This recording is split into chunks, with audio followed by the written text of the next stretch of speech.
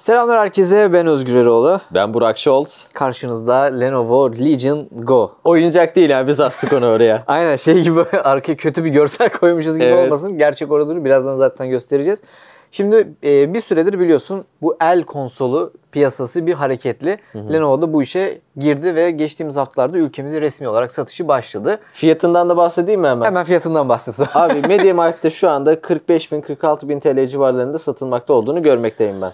E, baktığımızda en pahalı ülkemiz için en pahalı konumunda. Yurt dışında Evet. INEO'lar daha pahalı. Onun 1600 eurolara satılan versiyonları var. Yurt dışında 700-800 euro gibi bir şeye yani dolar tarzı bir şeye satılıyor. Şimdi en günceli e, Evet. baktığında istersen hemen bu ergonomi, rahatlık, taşıma kısmıyla başlayalım. E, ben senden bir iki gün daha fazla kullandım. Evet. Şimdi hemen aslında şundan başlayabiliriz. Çok büyük. İlk bakışta Çok büyük makine. çok net bir şekilde büyük. Ama burada hani büyüklüğünden şu şekilde kaçabiliyor. Ee, yanındaki hemen kontrolcüleri bu Joy-Con dediğimiz kısımları aynı Switch'te olduğu gibi çıkartıp ekranda arkasında bir ayağı var zaten. Standı var. Standı var. Koyup rahatlıkla oynayabiliyoruz. Ama bence buradaki asıl sorun şey bu şekilde gayet de rahat oluyor. Oynanıyor. Güzel bir e, yaklaşım. Ama burada şöyle bir sorun var. Şimdi Switch neden bunu yapıyor? Çünkü Switch'in iki kontrolcüsünü de çıkarttığın zaman her biri bir kontrolcüye dönüşüyor. Evet. Ve bu sayede işte co-op oyunları oynayabiliyorsun. Mario Kart'ı biri birinden biri birinden iki kişi oynayabiliyor ama bunda öyle bir durum söz konusu değil. Değil. Şimdi o yüzden bunu çıkarmanın mantığı nedir oluyor? O zaman ağırlıktan kurtulmak oluyor. Ki şöyle sen mesela verdin bana ben test ediyorum falan. Ee, elimde tutma ihtiyacı his, tabii hissediyorsun el konsolu Ha, evet, olduğu tabii. için. Ama bu sefer dirseklerini masaya, masaya koymak istedim. Çünkü ağır geldi bir Evet. süreden sonra. O şekilde daha konforlu bir halde oynayabildiğimi fark ettim. Göründüğü kadar aslında ağır değil. Şimdi çok büyük makine ya. Ona- Evet. Ondan beklediğiniz bir ağırlık var. Aslında o kadar ağır değil. Hele kontrolcülerin kendileri bayağı hafif olmuşlar. Ona lafım Aynen. yok.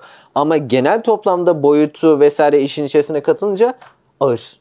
Zaten bence dediğin gibi sorun oradaki asıl şey ağırlık değil. Ee, yani dediğin gibi baktığında sanki böyle 2-3 kilo varmış Daha gibi da duruyor. ağırmış gibi geliyor. Ama aslında Steam Deck'te falan aşağı yukarı aş- aynı ağırlıkta ama zaten sorun orada büyük olması. Evet. büyük olduğu için yoruyor mesela işte oynadığın zaman e, kolların altına bir destek istiyorsun. Evet evet onu ben direkt hissettim yani Desteksiz sen olmuyor. o yorumunu daha şey yapmadan ben elimde tutmaya başlarken bir noktada masaya indirme Aynen. ihtiyacı hissettim kollarımı. Şeyde de oluyor mesela uzanmışsın oynuyorsun ki zaten bu kon- ya konsolu kullanma amacın o işte yolda otobüste falan ya da arabada işte ya da uzandın böyle oynuyorsun. Evet. Amaç zaten bir yere dayanmak rahatça oynayabilmek ister istemez bir noktada ben şeyi fark ettim. Hani böyle yarım saatten sonra arkasına bir yastık alıp oraya böyle dayayarak oynama kısmına geldim Ya yani. bir yandan oyunun eğer ki görsel zevkinden faydalanıyorsan büyük bir ekranda bunu görmek daha güzel. Evet. Ama el konsolunun ama asıl amacına e, yani hizmet etmemesi sıkıntı burada. Evet. Ben sıkıntının burada olduğunu düşünüyorum. Birazcık daha iki yerde yani işte masaya da koyayım, ekran gibi de kullanayım. E, elimde de kullanayım, konsol gibi olsun. İkisi arasındaki bir yeri hedeflerken amacından şaşmak birazcık bu olsa gerek. Hatta sadece bu konuda değil genel olarak ilerleyen dakikalarda geleceğiz. Genel olarak amacından sürekli şaşmış gibi bir cihaz zaten. Evet. Ee, bunu söyleyebiliriz ama onun dışında hani eline aldığında o rahatlık hissiyatını veriyor ama burada bir sıkıntı var. Evet. Ee, detaylarda görüyorsunuz zaten. Bu konsolun her tarafında bir tuş var. Çok fazla. Her tarafında ya sağ tarafa alt üstü iki tane eklenmiş, yanda iki tane tuş var. Sol tarafa alt üstü bir tuş eklenmiş, yukarıdaki tuşlar var. Yani şimdi bu Joy-Con dediğimiz kısımları çıkarmak için mesela elime aldım ki Switch gibi şey değil. Bir basılı tutayım kaydırayım gibi değil. Tutup çekiyorsun. Evet. Ee, bu da hani oradaki bence iyi şey de iyi yapamışlar. O bağlanma ve bağlantıdan sökme işini de iyi yapamamışlar Evet. bence. Bir noktada basarken her yere bastığımı fark ettim. Çatır çutur sesler geliyor. Bu tuşların bir fonksiyonu da yok. Sen atarsan geliyor bu fonksiyonlar. Ve şöyle bir sıkıntı da var. Şimdi daha küçük boyutlu bir şey olsa bütün Evet. tuşlara erişebiliyor olsan hepsinden faydalanacak yani. Sen faydalanmadın da faydalanabileceğin yerde olsa boyutları itibarıyla tamam sıkıntı yok. Aynen. Ama bu makine büyük bir makine. Dolayısıyla bu ekstra tuşlara erişirken zaten ellerini, parmaklarını sürekli böyle ya arkalara doğru Şöyle biraz dağıtman gerekiyor ya da böyle açılandırman gerekiyor. E şimdi bu da tamam fikir güzel ama pratikte amacına hizmet etmiş mi? Etmemiş Evet. gibi oluyor. Bence de öyle. Yani gimmick dediğimiz şeyler vardır. Özellik gibi gözüken ama aslında özellik olmayan. Evet. Burada biraz formundan dolayı öyle olmuş. Yoksa fikirde sıkıntı yok. Bence de. Diğer tuşlardan da genel olarak bahsetmek gerekirse zaten bu işte X, Y, A, B tuşları klasik artık her şeyde görüyoruz. Onun dışında birkaç tane atama, özel ataması olan tuşlar var. İşte e, sol üst taraftaki tuşla masa üstüne yani Legion Space tarafına geçip Evet. masa üstüne geçebiliyorsunuz. Sağ üstteki tuşla e, bu özelleştirme işte TDP'sini ayarlayayım, performans modundan daha sessiz bir moda çekeyim gibi özelleştirmeleri direkt yanında çıkan bir pop-up sayesinde yapabiliyorsunuz Evet. o tuşla. Sol tarafta işte normal oyunun select start tuşu dediğimiz tuşlar var. D-pad kısmı var ve analog tuşları var. Üstte de ses açma kapama işte tip C girişi bir üstte bir altta olmak üzere. Üstte havalandırma çıkışı ve hoparlörler var. Arkada yine havalandırma çıkışı var. Ama e, burada hemen şundan bahsedeyim. Bir tane çok sevdiğim oldu, bir tane de pek sevmediğim oldu. Çok sevdiğim analog tuşu. Analog tuşu gerçekten de konsolun boyutuna göre çok küçükler. Manyetik e, tuşlar E, ve ge- gerçekten o güzel tutumu çev- çevirmeyi gayet net bir şekilde yapıyorsun. Oradaki o kötü tadı almıyorsun. Mesela Evet. Ayanio'da ben bunu biraz almıştım. Analog tuşları biraz sıkıntılıydı. Anladım. Bunda ama D-pad'i hiç sevmedim. Benim D-pad'lerde özellikle yani yeni nesil oyunlarda çok kullanılmıyor ama şimdi ben bunda emülasyonla yapıyorum. Emülasyon, Evet. emülatör olarak da kullanıyorum. Eski oyunlarda D-pad'i kullanmak istiyorsun çünkü analog çok işlevsel olmuyor. Evet. Ama atıyorum mesela kontrol oynayacaksın. Kontrolda çapraz atış var. Yani şu yukarı değil aşağıda bir çapraz, çapraz atış yapacaksın. Bunda mesela direkt bu D-pad'in çapraz kısmını kullanarak o tarafa yönlendirebiliyorsun. Ama bunda çapraz kısmı olmadığı için aynı, iki tarafa aynı anda basman gerekiyor. O da zorluyor. E, oradaki basış hissiyatı çok düzgün olmadığı için yani eski oyunlara göre yapılmamış. Aslında hesap edilmesi gereken çok önemli şeylerden Evet. bir tanesi. Yani şu makinelerin benzerlerini emülasyon için ya düşük donanımlı Tabii. olanlarını çünkü bu Z1 Extreme'ler falan filan gelene kadar bu formdaki makineler vardı ve emülasyon için kullanılıyordu bunlar. Evet. Bunlar da ha, daha büyük emülasyon cihazı olarak belki düşünülmemeli. Ondan çok daha fazlası ama e, bunlar yine unutulmamalı. Evet ya bence çoğu insan Steam'de bile yani hatta Steam'deki Switch bile insanlar emülasyon için kullanıyorlar yani Evet. şu anda. Unutulmaması gereken bir detaydı. Bence D-pad kısmı o yüzden biraz sorunlu olmuş. Taşıma kısmında da şöyle diyebiliriz. Yani bu şekilde taşıması tabii zor yani. Böyle çıkamazsın. Kutusundan bir çanta çıkıyor mu peki? Çıkıyor içerisinden bir çanta çıkıyor. En Steam'deki azından olduğu güzel gibi. bak aracı alayda Evet. falan çanta manta yok. Aynen, bir tane kartondan bir çanta yok. stand var ona koyuyorsun Yani böyle. o da ya kar- karton mu yoksa 3D printer'dan bence 3D printer bile değil. yok yok 3D printer falan bile değil. Yani kutunun e, malzemesinden üretilmiş bir şey yani iç kutulamadan çıkan bir şey o. Evet e, ama hani şöyle bir durum var burada da. Mesela biliyorsun geçenlerde sen ikisi bir de MSI'nin yeni cihazını da konuştuk. Onun da Cloud. yanında bir sırt çantası geliyor. Şimdi bu tarz bir cihazı içinden çanta çıkıyor evet ama şimdi çantayı aldığın zaman sanki yanında böyle tabanca taşıyormuşsun da suikastçıymışsın gibi geziyorsun çantayla böyle. O yüzden biraz taşıma zor. Yine bunu çantaya koyuyorsun. O çantayı da sırt çantana koyuyorsun. Evet öyle oluyor. MSI bu konuda bence daha başarılı bir iş yapmış. Direkt sırt çantası veriyor. At Yani sırt çantasının. MSI bir numara bu konuda. Lenovo 2, ROG Ally listeye bile giremiyor. çanta yok çünkü. Aynen listeye bile giremiyor. Bunun dışında on, yani taşıma kısmı çok da sorun değil. Yani büyüklüğünden dolayı biraz dert olabilir. Onu söyledik zaten ama genel olarak taşıma ve ergonomi kısmı bu şekilde. Bence çok dert edilebilecek bir durum yok burada. Ama çok övülesi bir durum da yok. Evet. Ortalama bir durum. Ee, buradan istersen ekrana geçelim. Ekrana geçelim. abi. Ekranda Ekranımız usta sensin. Kaç inç abi ekran? Ekranımız 8.8 inç. Şu ana kadarki en büyük e, el konsolu oluyor bu şekilde. tamam 2K ekranımız var. 144 Hz yenileme hızı. Tamam o da 500 nit civarlarında güzel bir aydınlatmamız var. Ee, Ee, güzel bir aydınlatması dediğim şöyle. Kapalı alanlarda bence %100'de kullanmak isteyeceksiniz. ya evet. Yani ben şu anda mesela %100'de Şu çalışıyor. anda %100'de. Ee, belki geceliğin yani %50'lere %60'lara çekersiniz. Güneş altında çok çok korunaklı şey gö- görünebilir bir ekran olmayabilir. Yani bu arada şeyi söyleyeyim hani tamamen karanlık bir ortamda hiç ışık yok. Yüz, yani sıfıra çektiğinde bile gayet oynanabiliyor. O konuda Anladım. bir sorun yok. Ama aydınlık ortamda Şimdi burada %100'de mesela çalıştırıyoruz. Evet. Daha bir ortam aydınlık Yani olduğu için. var. Ee, ve e, aslında ekran güzel. Ben renklerini falan da beğendim. Akışkanlığı da eğer doyurabileceğiniz bir oyun varsa eğer bu da yetecektir. Ee, ekran genel manada dokunmatik bir ekran zaten. Evet. Ee, ama tabii oyunlarda şu yanlışa düşmeyin. Oyunda arada bir ya şunu ekrandan yapayım, bunu kontrolcüden yapayım dediğinizde oyun sapıtabiliyor. Evet. O toplara çok girmeyin ama günlük Windows kullanımında çünkü üzerinde bildiğiniz Windows bir işletim sistemi var. Evet. Buradaki dokunmatikte bir problem yaşıyor musunuz? Hayır. Düzgün bir şekilde çalışıyor. Ama oyunda o ikisi arasında gidip gelmemenizi şiddetle tavsiye ediyorum arkadaşlar. Bence de evet, katılıyorum. Yani normal arayüzde gezerken hızlı geçişi yapabiliyor. Bir de hemen zaten sağ alt kısmında touchpad kısmı da var. Oradan da hani mouse kontrolünü Evet. yapabiliyorsunuz. Güzel orası da. Normal tek tık alıyor. İşte iki ya sağ tık yerine basılı tutuyorsunuz. O şekilde işliyor. Güzel. Aslında az önce bir detay atladık. Onu da söyleyeyim. Bu kenardaki kontrolleri çıkartabiliyorsunuz dedik. Ee, ya hafif kesinlikle Switch kalitesinde değil ama kötü de değiller. Değiller. Ee, ama şöyle bir durum var. Ekstra bir modu. Biliyorsun sen de denedin. FPS modu var. Evet. Sağ taraftaki kontrolcüyü çıkartıp altında bir klik var. Orayı açtığınız zaman FPS moduna dönüyor. Bu da şu anlama geliyor.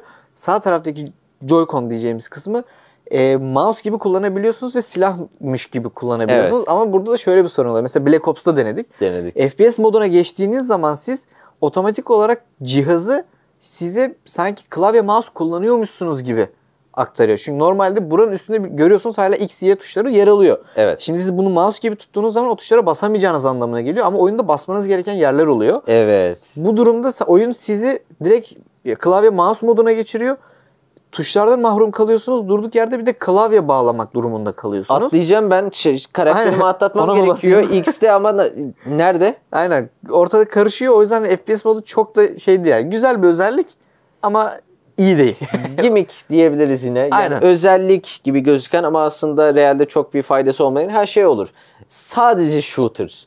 Yani sadece bir şeylere ateş ediyorsundur. Şeyler vardı küçükken işte sniper'sın hareket edemiyorsun. Browser oyunu. Ya browser oyunu. Yani o tarzda bir oyun bulursanız bir eğlence katmış işin içerisine. Ben ona bir şey demiyorum. Düşünmüşler adamlar. Evet. Böyle bir şey geliştirmişler. Ama hani şu andaki normal herhangi bir oyuna bakın yok. Bundan Evet. E, faydalanabileceksiniz bu arada hemen şeyden aklıma geldi. O işte dokunmatik ekrandan kontrolcü ile kontrol etme e, Evet. tarafına geldiğinde şey yapıyor zaten o FPS moduna geçince cihaz da orada bir sapıtıyor. Evet. Ben dokunmatik mi mesela kendine Black Ops oynarken otomatik olarak şeyi aldı. Dokunmatik modu aldı. Kontrolcülerle şeyi kontrol edemedim. Ateş emedi, ateş edemedim mesela Evet. ben. Yani aslında hareket ediyordu. FPS olarak güzel. Altındaki e, sensörle beraber okumaya başladı. Hani hassasiyetini tartışırız ona bir şey demiyorum ama çalışmadı tetiklerim bu sefer. Hadi ateş edemedin geç menüyü kontrol edemedik. Ha, evet. Mecbur tekrardan takıp şey moduna geçmek Yani zorunda bu kaldık. özellikleri işte yazılımsal olarak da desteklemedikten Evet. sonra ki destekleyemeyeceğin için de şimdi Call of'la mı görüşeceksin bununla alakalı? Ay, Yapabilirsin ama bunlar hep para. Tabii para. Şimdi Lenovo tek başına sadece kendi kontrolcüsü için Call of'la böyle bir iletişime geçecek de bunu yaptıracak da edecek de bunlar çok ciddi paralar. Bir de mesela az önce senin söylediğin şey tekrar geliyoruz. Yine amacından şaşıp başka bir yöne gidişim. El konsolunu ben niye böyle kullanmak Ben niye istiyorum? tetik isteyeyim Değil mi? orada değil mi? Yani Niye en, öyle bir şey en var yani? konsol deyince aklınıza gelenleri düşünün. PSP'ler, PSP Vita'lar Evet. çok eskileri gidin. Belki bu işin ilkleri olduğu için söylüyorum. Ee, Nintendo Switch'lere geliyorsun. Hangisinde böyle bir atraksiyon gördün? Konsol tarafında olur mesela. Move şeyleri vardır böyle. Aynen. tamam mı? Tamam orada ekstra bir Onlar şey. bile çok uzun sürmediler Onlar yani. bile çok uzun sürmediler. Tamam bir de el konsolunda böyle bir şey deniyorsun. Ya bir de işte Gimmick. yine Gimmick amacından çok şaştığı işte hani ya ben bunu el kon bir, yer, bir yere giderken oynayayım, evimde tuvalette oynayayım, tatilde oynayayım. Ya şey- nerede oynarsan oyna Tuvalette nereye konsolu. koyayım yani? yok işte bu bu bu yine evet, yok. e, bu kısımda sıkıntılı. Onun dışında ama ekran güzel bu arada. Yani Ekran güzel. Güzel güzel. güzel. Güzel. e, hepsini deneyimledim bu arada. Hani ülkemizde resmi olarak satışı yapılan artı Steam Deck olarak ekleyeyim. Hepsini denedim. INEO'lar da dahil olmak üzere. Gerçekten ekranını en çok sevdiğim cihaz bu oldu. OLED'i tabii denemedim onu söyleyeyim. Ee, Ben de mesela ROG Yala'yı uzun bir süre denedim. Bu daha büyük, daha yüksek çözünürlüklü, DPI daha yüksek, Aynen. tazeleme hızı da daha yüksek Evet. bir ekran. Hiçbir lafım yok. O, ya bir şeyler de izlenebilir gayet. Hani ekranda hani İzlenir. 8.8 küçük bir ekran değil yani. B- Bence oluru var. O zaman oyunlar ve performans e, diyebiliriz bence. Hatta performans kısmındaki donanım detaylarından bahsedelim. Aynen. Z1 Extreme var içerisinde arkadaşlar. ROG Ally ile aynı yani Extreme moduyla Evet. aynı. 30 Watt TDP'ye kadar çıkarabiliyorsunuz. Kabloyla bağlamanızı da gerek yok. Evet. ROG Ally'de mesela 25 Watt'a kadar kabloyla e, 30 şey e, kablosuz şekilde pardon 30 Watt'a da kabloyla çıkabiliyorsunuz. Aynen. Yani şarjda olması gerekiyor Evet. 30 watt için. Burada 30 Watt'a direkt erişmenizi sağlıyor. Fan devrini de menüsünden isterseniz fullleyebiliyorsunuz. Ee, bir takım çalışma dinamiklerini buradan ayarlamak mümkün. O pop-up ekrandan bunları yapabiliyorsunuz. Ee, direkt oyunları da aslında yazılımı üzerinden gidebiliyorsunuz. Evet. Ee, bunun yanı sıra 16 GB RAM'i bulunuyor. Ee, RAM e, G- GPU ile paylaşılıyor, VRAM olarak paylaşılıyor. O konuda da çok önemli bir detay olduğu için bunları özellikle ekliyorum. Üzerinde bir SSD var. 512 Be- GB'lık. Aynen. 512 GB'lık SSD büyük ihtimalle değişiyordur. Bunu açıp deneme fırsatım olmadı. Çünkü ROG Ally'de mesela Steam Deck'te 2230 SSD arkadaşlar. İşte Asus şey Asus demişim. Samsung'un PM991 misal verim çıkar. Yeni SSD'ni tak yükselt. İlla, Steam Deck yükseltilebiliyor bunu biliyorum. e, ROG Ally de aynı şekilde yükseltiliyor. SSD veya hafıza kartıyla bunları yapabiliyorsunuz Evet. bu tür ürünlerde genelde. Şimdi temel özellikleri, donanımsal özellikleri bunlar. Aslında ROG Ally ile birebir aynı gibi ROG, diyelim. Ally ile çok yakın. Çok yakınlar. Ee, çok yani çünkü ana yonga aynı zaten. Onlar Aynen. Z1 Extreme olarak bakıyorsun. MSI Cloud'da şimdi Intel bir yonga geliyor Evet. ona bakacağız. Ionio'da 6800U U var, aynen. Bunun %20 %25 civarı gerisinde 15 Watt 20 Watt TDP'li hesapladığımızda yani Z1 Extreme'ler şu anda böyle el konsollarında bulabileceğiniz en güçlü yongalar gibi gözüküyorlar. Evet şu an için en güçlü Z1 Extreme kesinlikle. Ee, Ya bu arada o pop-up kısmından tekrardan bahsedeyim. Yani sağ tarafta açtığınız zaman işte çözünürlüğü değiştirebiliyorsunuz. İşte 1200'e 800 olsun, 1920'ye e, 1200. Onun, onun dışında bir de 2K çözünürlüğümüz var. 2560'a bir işte. 1440. Şey e, 1600 1600 olarak. 1600 şey mü? Hı hı. Ha, par- aynen doğru. Ee, bir de onun dışında 60 Hz ile 144 Hz arasında değiştirebiliyorsunuz. Bunun dışında zaten işte dediğin gibi işte power saving modu olsun, ne bileyim efficiency modu olsun bunları değiştirebiliyorsunuz. RSR açıyorsun oradan Evet, mesela. RSR Global olarak bütün oyunlarda yapay zeka ve derin öğrenmeyle Aynen. beraber daha fazla kare saniye elde edebilmek için. Ya birçok özelliğini aslında o pop-up'tan ya da onun daha geniş ekran olan Legion Space'ten ulaşabiliyorsunuz ama oyun içinde anlık değiştirmek isterseniz de o pop-up'tan yapabiliyorsunuz ayarları. Pop-up düzgün çalışıyor. Evet. Peki Legion Space sence nasıl çalışıyor? Legion Space e, bence biraz sorunlu. Pop-up'ı da ek- etkileyen şöyle bir sorunu var. O tuşa bastığında mesela oyun o sırada zorlanıyorsa atıyorum yanlışlıkla mesela örnek veriyorum. E, oyunu işte medium ayarlarda 2K'da açtın ama cihaz onu verebilecek güçte değil mesela. Tamam. Sen değiştirmek istiyorsun hemen hızlı bir şekilde. Basıyorsun zaten sistemde güçte ya o sırada böyle. Evet, evet, yük altında. Yani zorlanıyor sırada. Evet. Bana bulaşmayın modunda. Basınca biraz geç geliyor. Hadi diyorsun ya çalışsana falan. Tekrar basıyorsun. Olmuyor. Oyun kilitleniyor falan derken bir yerde çözülüyor her şey. Pop-up tak tak tak tak tak yapıyor böyle. Peki sen hiç Steam'de, Steam Deck'te daha doğrusu veya ben ROG Eli'den de bahsedeceğim. Sen Steam Deck'te böyle bir şeyle karşılaştın. Tam yani tam teşekküllü bir oyun oynuyorum. Menüye bastım ve geç geldi abi falan.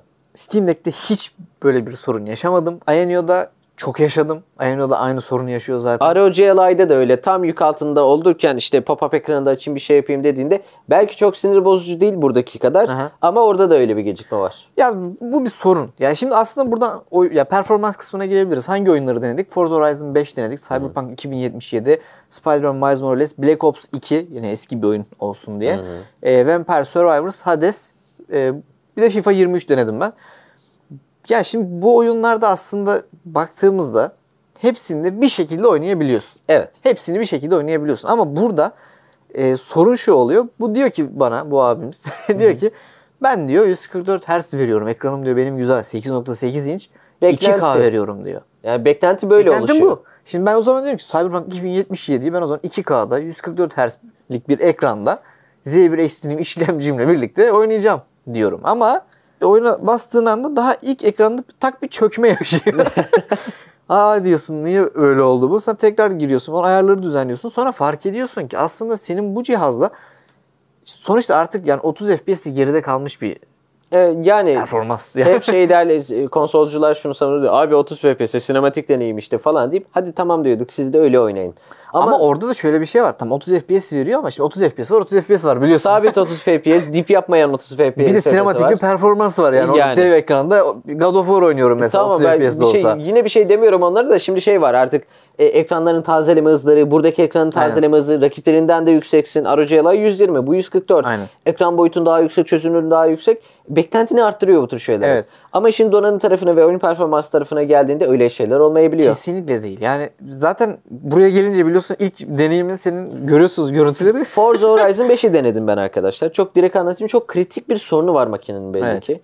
Oyun ilk başta orta ayarlar ve ev şey FSR Orta değil low bu arada. E, or- Orta low karışık. Ha. E, FSR açıyorum. Onu da performans moduna ayarlıyorum. RSR falan şunlar bunlar açık. E, GPU CPU sıcaklıklarına bakıyorum. 60-70 dereceler. Hiç sıkıntı yok. Sorun yok.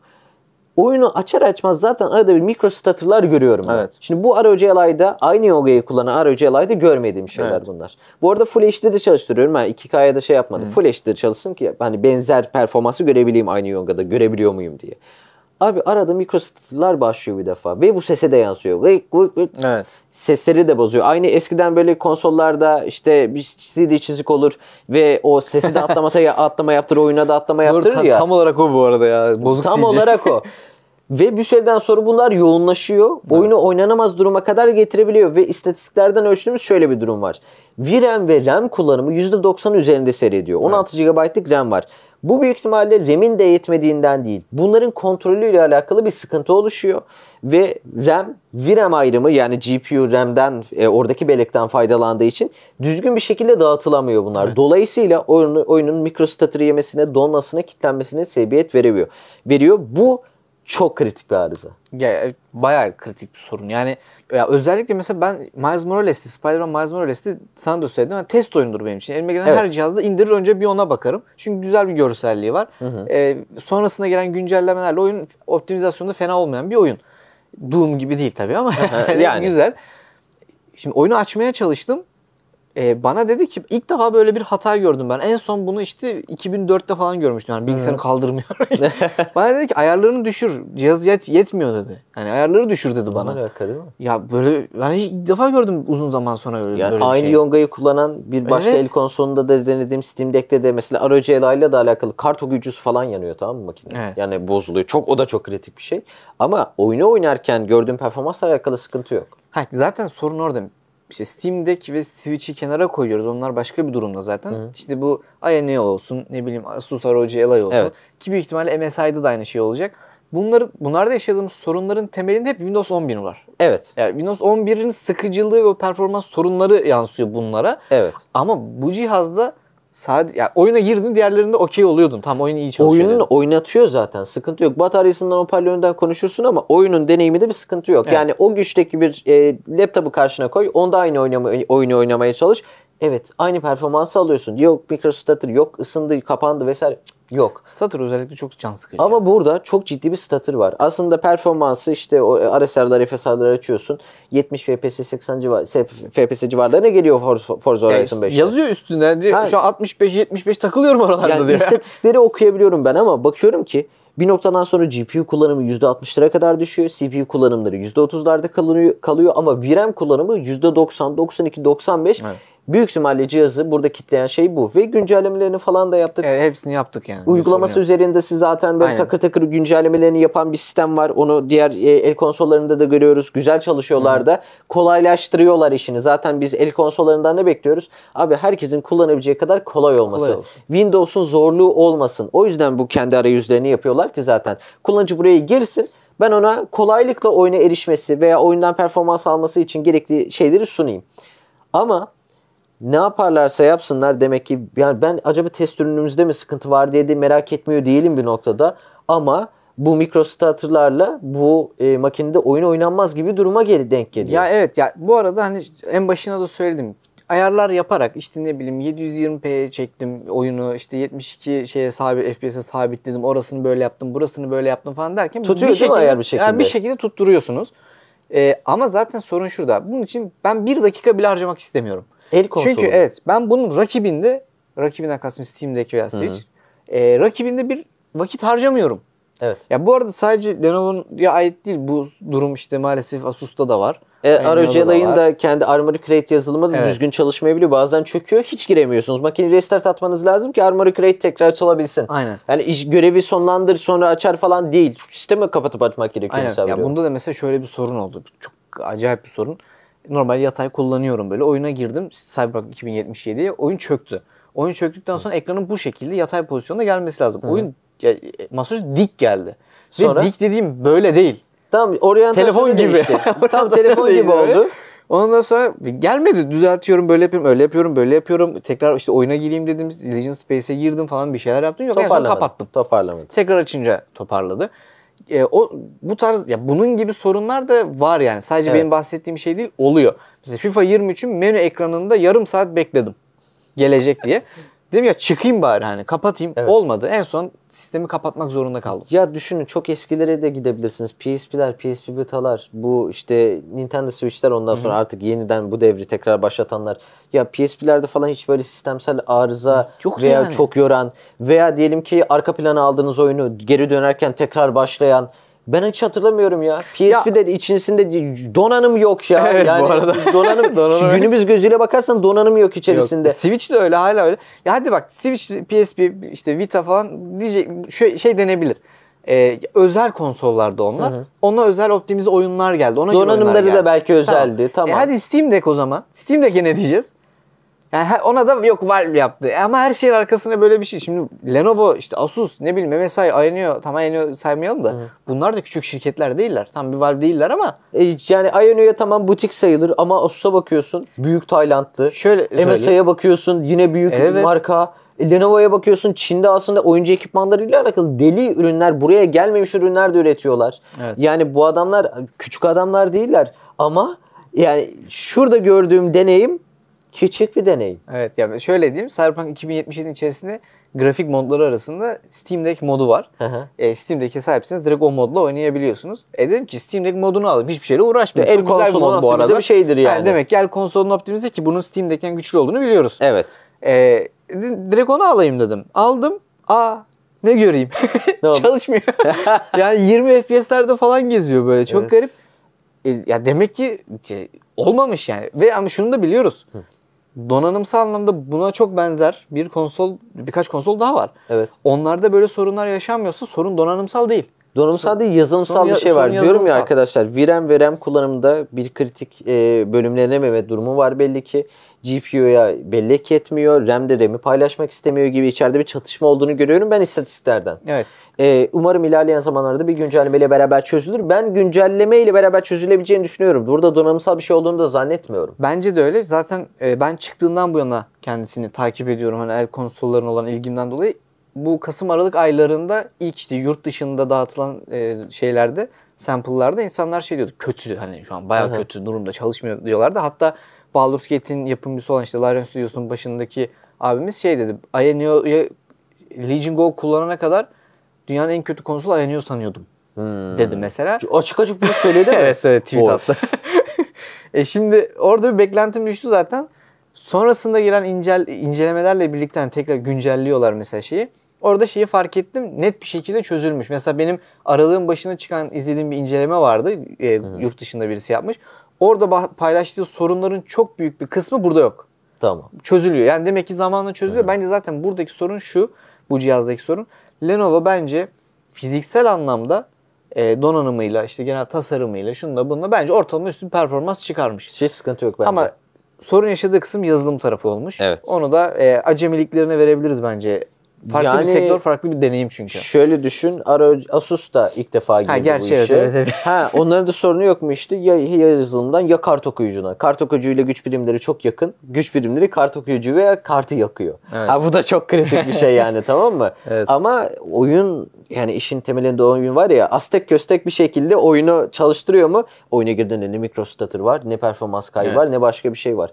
Şimdi hepsinin paylaştığı birkaç soruna gelelim mi? Pil. Abi pil. Pil. 50 watt saat civarı bir pil var bunda. ROG Live'da da 50 watt saat civarı. Evet. Steam Deck'te de öyle bir şey olması lazım Evet. zaten. Ee, Yani Simit ve, hatta daha 40-45 civarı bir şey olması lazım. ve şimdi biz zaten lansmanına gittik. Orada görür görmez ben dedim ki Z1 Extreme böyle devasa bir ekran, çözünürlük, tazeleme hızı ve batarya kapasitesi hemen hemen aynı. Dedim biz burada herhalde yine aynı kullanım süresini göreceğiz. Ki öyle zaten. Yani şöyle oldu. Ben dedim ki acaba ekstra bir şey mi var ya? Bir güç optimizasyonu işte dağıtımı ile alakalı. Hayır hiçbir şey yok. Yok. Bizzat aynı. Asus Triple A oyun açın arkadaşlar. Full HD'de 120 kare saniye veya e, birazcık da altına inerseniz tabii ki daha fazla kullanım süresi elde edersiniz ama ekrandan faydalanmak istiyoruz ya. Ekran parlaklığını da açın. 45 dakika ile 1 saat civarı Triple. A'de aldığınız kullanım süresidir. Evet. Yani yani yani yanınızda yine bir power bank taşımak durumundasınız diye ben düşünüyorum. net lazım ya. Özellikle uzun bir yere gidiyorsan. Ya yine aslında en baştaki konuya geliyoruz. Az önce oyun ve performans kısmında da bunu söyleyecektim. Şimdi pile girdin. ikisi için de geçerli. Yine amacından şaşıyor. Evet. Şimdi biz bu dedim ya büyük oyunları denedik ama işte Hades gibi, Vampire Survivors gibi küçük oyunları da denedik. Baktığınızda Black Ops eski bir oyun. Küçük bir oyun değil ama eski bir oyun. Bunlarda mesela Vampire Survivors'ta güzel bir TDP ayarıyla hiç konsoldan ses de çıkmadan hani fanları çalıştırmaya gerek de Evet. kalmadan böyle 3-4 saat oynanabiliyor. İşte Black Ops'ta 3 saati bulabiliyor. Hades'te yine 3 saati bulabiliyor. Şimdi bak bunlar güzel süreler. Bunlar ya- zaten yoruluyorsun bir yerden sonra. Evet. Bunlar güzel süreler. Zaten bu konsolların amaçlaması gereken şey bu oyunlar. Evet. Eski veya küçük oyunlar. Şimdi sen Cyberpunk 2070'i 144 Hz 2K deyince bak benim 3080'im zorlanıyor bu. Evet. ya şimdi buna e, tabii ki de yapamayacağını biliyoruz ama niye böyle bir reklamla çıkıyorsun? Ya bir ya ni- bir de karşınızda şöyle bir örnek var. Ben onu anlamıyorum. Deseler ki ya abi öbür türlü satmıyor, tutturamıyoruz. Ya Switch şu anda dünyanın en çok satan ilk konsol olma yolunda çok hızlı ilerliyor. 20 milyon daha satarsa dünyanın en çok satan konsolu olacak. Ve 720p 30 FPS. Yani Anladın mı? bu konuda donanımsal anlamda hiçbir iddiası yok. İçinde bir tane Tegra X1 diye bir yonga var yanlış hatırlamıyorsam. Yani bu yonganın DLS'si falan filan da yok Evet. öyle anladın mı? Böyle çok bir iddiası da yok. Belki yeni nesilde bir şey de gelecek. Aynen. Z1 Extreme'ler oho. Ya tabii ya şu yani, an ortalama bir iPhone ya iPhone işte 7 8 falan hani 10 şeyden Switch'ten daha güçlüler yani. Evet. Özellikle Switch Lite'dan. Evet. E şimdi tamam hadi orada Nintendo'nun oyun artısı var. Kendi oyunları çok büyük oyunlar onun artısı var ama şimdi bilgisayarda öyle ufak oyunlar yok yani. Bir de şöyle sen yine de el e, konsolu kategorisinde misin arkadaşım? Evet. Yine de kullanım süresi bekliyor muyuz biz? Bir yolculuk yaptığımda ben bu makineyle tıkır tıkır oynamak istiyor muyum? Belki de yani çok uzun bir yolculuk değil ama e, bu yolculuk e, süresince ben bataryasıyla alakalı abi save game alırım da ne olur ne olmaz kapalır diye endişelemek durumunda mıyım? Değilim. bir de bu makinelere böyle güçlü güçlü sürekli atıflarda bulunuyorsun. Hah, işte. Yani bu atıfları yaptıktan sonra o oyunda bir saat kullanım süresi alıyorsan şu anda hepsinin derdi bu arada. ha. Sadece Li- Li- Tabii, tabii. Legion Go'yu yani burada şey Hepsinin günah derdi. keçisi ilan etmeyelim. E, ROG da böyle. Bu makinede de böyle çıkacak. MSI Cloud'da da büyük ihtimalle böyle, Böyle olacak. olacak. Çünkü bunların içerisine sığdırabileceğin bataryanın fiziksel limitleri belli. Bak mesela Steam Deck'te de aynı sorun var. Ya Steam Deck'te de ama bak Steam Deck şununla çıkmıyor piyasaya. İşte 2K 700 FPS falan böyle demiyor. Evet. Bizim Steam oyunlarını oynayabildiğiniz bir el konsolumuz var diyor. Evet. Çıkıp da ben en güçlüsüyüm gibi bir zaten e, öyle bir durumu yok. Donanımın suratına vurmuyor. Ha evet öyle demiyor. Yani şimdi Oyna burada diyor. Z1 Extreme deyince bir tokat yiyorsun. Evet. Hani hoşuna gidiyor hatta güçlü makinaymış falan 2K, diyorsun tamam mı? 8.8 inç. Evet 144 Hz diyorsun. Bir sürü tokat yedim ben. Yani zevkini almak lazım. Aynen ya, olmuyor yani. yani anladın mı? Ama bir saat. Evet, bir yani, saat. İşte bu o da takılmazsa. o da takılmazsa. Böyle bir durum var abi. Yani o yüzden powerbank alın. Yani eğer ki bu performansı yanınızda taşımak istiyorsanız bir tane de powerbank de taşıyacaksınız. E, oyun ve performans ya pil kısmı da aynen bu şekilde. Şimdi, Hoparlöre geçelim. Hoparlör. Hoparlör kısmında ben hemen konuşmak istiyorum ses seven birisi olarak çok hayal kırıklığına uğradım. Şimdi bu boyutlardaki el konsollarını denedik ettik ve onların da seslerini biliyoruz. Zaten hepsi çok iyi değil. Değil. evet. Ya burada bir tane biliyorsun çok önemli bir fark var sadece. Bir tane çok önemli, çok güzel ses veren hatta yani bu boyuttan nasıl bu ses çıkıyor dedir, e, dedirten ROG Ally var. Onun da sesi gerçekten o boyuttaki bir makineye göre bundan daha küçük boyutlarda makine. Nasıl böyle gürül gürül bir ses geliyor içerisinden bilmiyorum. Ses testlerini falan yapmıştım, videosunu yayınlamıştım. Ee, hem çözünürlüğü, hem sahne açıklığı, hem çevreselliği bir tuhaf. Evet. O el konsolundan nasıl çıkıyor? Yani orta halli bir dizüstünün hoparlörlerini koyup bir de yazılımını da güçlendirmişler gibi bir durum var. Şimdi buraya geliyorsun. Abi anlatsana bana biraz. Yani şimdi ben ilk başta şöyle bir sorun yaşadım. E, bu arada ses konusunda hani Burak daha birikimli olduğu için buraya gelene kadar ses konusunda net bir test işine girişmedik.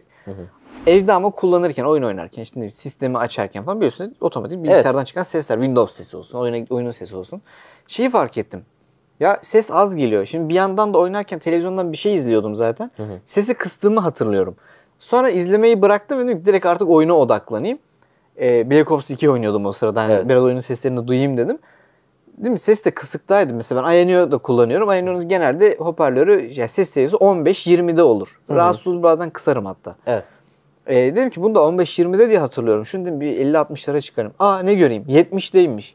Anladım. Seviye çok düşük. Yani ya, çıkartıyorum ama yok ses yetmiyor. E tabi burada bir de kalite kısmı var. Burada Orada- maksimum, maksimum sesini açtık arkadaşlar. Telefonla, tablette, dizüstüyle kıyasladık. Apple'ın cihazları vardı etrafımızda onlarla kıyasladık.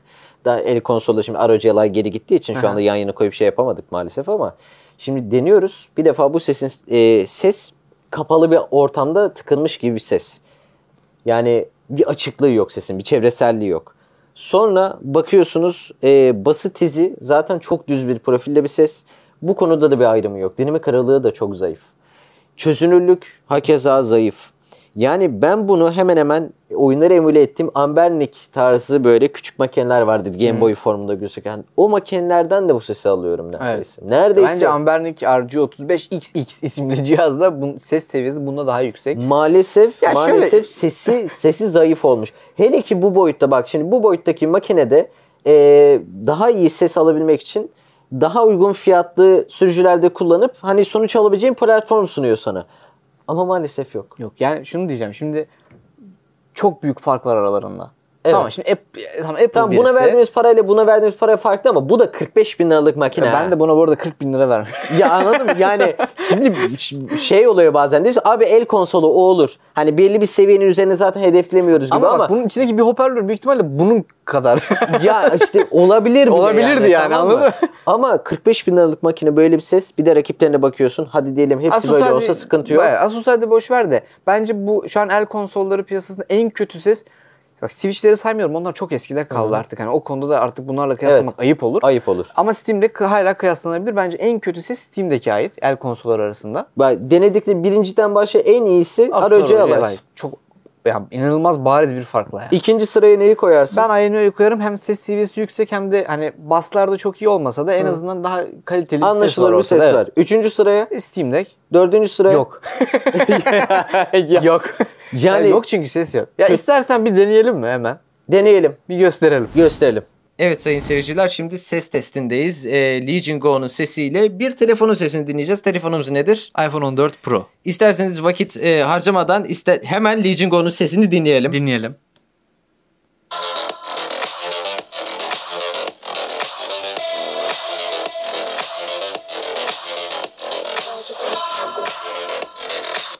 Şimdi sesini duydunuz. iPhone 14 Pro'nun sesini dinleyelim. Dinleyelim.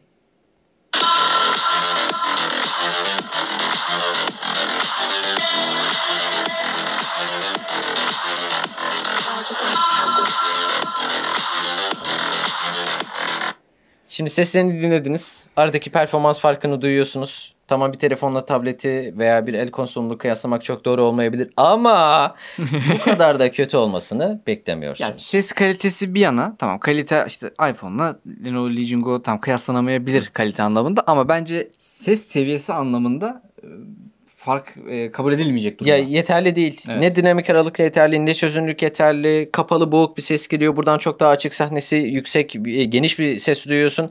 E, maalesef buradaki ses el konsolları arasında da bir telefonla kıyaslandığında da e, yeterli değil. Şimdi toparlamak gerekirse aslında e, senle video öncesinde de konuşmuştuk. El konsollarını şu anda 3'e ayırmak lazım. Evet. Bir Switch var. Nintendo'nun kendi oyunlarıyla bambaşka bir evrene sahip bambaşka bir cihaz. Şimdi Evet, yeni onu- cihazla birlikte günümüz el konsollarına yaklaşacak performans. Daha el anlamında. üstünde tutuyorum ben onları. Daha kutsal bakıyorum onları Evet, nedense. kesinlikle. Yani o yaptıkları yazılım tarafında ve oyun tarafında bir sene içerisinde adam aynı IP ile beraber 10 tane oyun çıkarıyor. Hepsi Aynen. birbirinden farklı ve buraya geliyorsun. PC oyunlarını oynuyorsun Evet. aslında yani. Ya bambaşka bir evren var Evet. orada. Hani artık 7-8 yıllık cihaz olduğu için eskide kaldı. Ama işte büyük ihtimalle önümüzdeki bir yıl içerisinde Switch'in yeni versiyonu da çıkacak. Onunla birlikte performans donanım anlamında da bunlara yetişecek. Belki. Bakalım. Burada hani işte Switch'i ayrıştırdık. Bir de Steam Deck var. Yine farklı bir noktada bakılması Evet. gereken. Çünkü yani Linux tabanlı Kendi Steam işletim OS sistemi. e, işletim sistemiyle yine konsol gibi davranan, konsol gibi çalışan bir Evet. cihaz var orada. Ve diğerleri.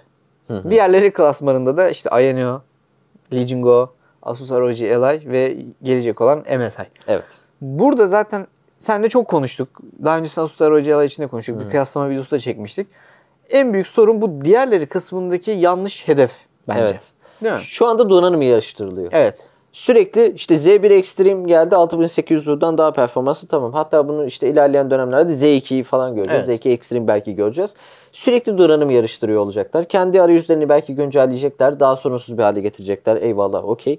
Ama bu makine yine açıldığında Windows bir bilgisayar olarak açılıyor mu? Ya evet. Yine Windows gibi bir makine gibi hissiyat geçiyor mu? Ya benim iş yaptığım bilgisayar da Windows bilgisayar, maillerimi takip ettiğim de Windows bilgisayar, oyun makinem de Windows bilgisayar olunca Windows'un bazı limitasyonlarına ve sorunlarına bağlı kalmak durumunda kalıyorsun. Bir güncelleme geliyor Windows'a. Aynen. Seninle bir alakası yok. Uygulama arayüzüyle de alakası yok. İşte Armoury Crate diye misal veriyorum veya buradaki Legion Go arayüzüyle. Hiçbir alakası yok. Ama cihazın stabilitesini bozuyor. Şimdi ne yapacaksın? Şimdi bu Steam Deck'te karşılaşmayacağım bir şey. Evet. Bu eskiden PS Vita, işte PlayStation Vita'larda karşılaşmayacağım bir şey. Bu Nintendo Switch'lerde karşılaşmayacağım bir şey. Evet. Yani senden bağımsız bir takım gelişmeler seni etkileyebiliyor olacak. Çünkü bunlar yine Windows bilgisayarlar. Ya işte zaten bence yanlış bir klasmana soktular kendileri. Yani Evet. şimdi Asus bence çok kaliteli, çok düzgün bir marka yani. Severiz Evet. değil mi? Ürünleri gayet güzel. Severiz. Severiz yani. Var sevmediğimiz de var, sevdiğimiz de var. Evet ama yani ortalama olarak baktığında benim Asus görünce bir bakılabilir, tercih edilebilir olarak benim artı puan yazan bir cihaz. Ya şey, Lenovo'lar da öyle. Tabii Lenovo da öyle. Lenovo'nun distüleri de öyle. Lenovo'nun monitörleri de fena değil. Distüleri hele çok iyi. Ya en son bir distü çıkardılar. İçinde sıvı soğutucu fa- falan filan var. Yani ne kadar gerçek, ne kadar e, düzgün çalışıyor o tartışılır. Ama distüleri falan da çok iyi ya. Ya ama şey işte sonuçta MSI de bu şekilde, Lenovo'da, Evet. Asus'ta bunları görünce sana bir artı yazar hemen. Tam Ve bir bakılır güven buna. şeyi geliyor. Evet, o güven gelir. Şimdi el konsolu kısmına giriyorsun ve bunları el konsolu değil el bilgisayarı. Ya hayır abi el konsolu işte ya. Yani el bilgisayarı ne ya? Formu olunca insanın aklında can, ne canlanıyor? Belki de bunu bir evladına bir şeyini alacaksın. Evet. Onu eline vereceksin. El konsolu olarak tamam? Sen de çok bilmiyorsun. Babasını alacaksın. Ona bir şey hediye etmek istiyorsun. Oyun oynatıyor diyebiliyorsun. Şimdi Windows'un dertleriyle çocuk uğraşmak durumunda. Ya biz hani dedik ki işte sağdan çıkan pop-up'lı ayarları özelleştirerek uygun ayarı bulabiliyorsunuz ufak. Ya Evet. bunu küçük bir çocuk bilemez. Kaldı ki bunu ben de bilmek zorunda değilim. Ben de bilmek zorunda değilim. Ya Amerika'da nedir mesela çocuğun önüne bir tane Xbox koyar, bir tane de Halo koyar önüne tamam mı? Oyna. yani basar, basar bir tane tuşuna, Halo simgesini görür, girer oyuna. Hiçbir şeyle uğraşmıyor. Evet. Ne ekranı, ne çözünürlüğü, ne TDP'si, ne arayüzü. Yok Windows'un ayrı güncellemesi vardı onu yapacaktım falan. Hiçbir şey yok. Hiçbir şeyle uğraşmaz. Hiçbir şeyle uğraşmaz. Bir de zaten anlamadım. Bilgisayarı küçültmek istiyorsak laptoplar niye var o zaman? Ya bu iyice küçültmüş oluyor. İşte Ama- 7 inç ekran, 8 inç ekran falan diyorsun. Yani bir üstü ekranı 14 inçten 12 inçten aşağı değil ya. E bir de elinde taşıyabileceğin forma getiriyorsun. Bak aslında niyet çok güzel. Ama bu niyetin ve bu amacın doğrultusunda düzgün iş yapan Evet. adamlar valla Nintendo Switch'ler bunlar. Valve. Oyunuyla, yazılımıyla. Valve, Steam Deck kesinlikle. Son olarak hani kendim için şunu söyleyebilirim. Dediğim gibi çok farklı bir yerde yarışıyorlar artık. Ee, başka bir işletim sistemi kullanana kadar e, veya işte Legion Go özelliğinde bu sorunları düzelt, yazılım sorunlarını sorunlar var. düzeltene kadar Çok temel yazılım sorunları var. Onlar çözülürse bence toparlanır. Aynen. Ama onlar çözülmeden şu anda temkini yaklaşılması bu gerekiyor. el konsollarının ikinci nesli bence bir sonraki nesil daha iyi olacaktır diye düşünüyoruz. Ee, Bir yazılım güncellemesi gelirse, düzelirse tekrar paylaşırız sizlerle arkadaşlar. aynen. Ee, cihaz tabii kalacak gidecek oralarda biraz sıkıntı. Ya topar bir de bir daha bulmaya çalışırız ama durum böyle şu anda. Peki siz bu cihazı bekliyor muydunuz? Ne buldunuz? Lütfen yorumlar kısmında bizimle paylaşmayı unutmayın. Hoşçakalın. Hoşçakalın, beğenmeyi, abone olmayı da unutmayın.